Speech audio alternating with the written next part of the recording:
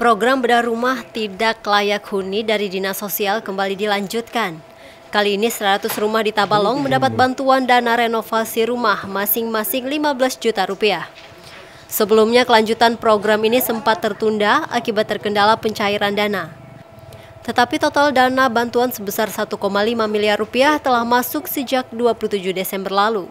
Pencairan pun telah dilakukan pada 3 Januari 2019, sehingga KPM telah mendapat bantuan renovasi. Nah sekarang uh, kita dapat bantuan program rehabilitasi rumah tidak layak huni atau disingkat dengan Rotilahu itu tahun ini sebanyak 100 buah, 100 buah. Nah kemarin kan kita sudah sosialisasi, kita sudah panggil semua apa KPM keluarga penerima manfaat yang mendapat uh, apa rehabilitasi rumah tidak layak huni sudah kita berikan sosialisasi dan kita panggil semua.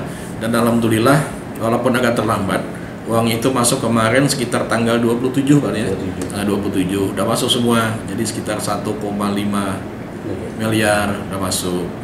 Nah uang udah masuk tanggal 27 kemarin dan sudah kita panggil semua KPM, semua penerima bedah uh, penerima rehabilitasi rumah tidak layak huni itu kita undang untuk melakukan aktivasi di bank di bank BNI hmm. sudah semua alhamdulillah ini sudah terlaksana. Tinggal pelaksanaan karena uangnya kemarin tanggal 27 28 kita baru memindah uang kan ke buku maka uang bisa diambil kemarin tanggal 3 Pak ya tanggal 3 3 Januari.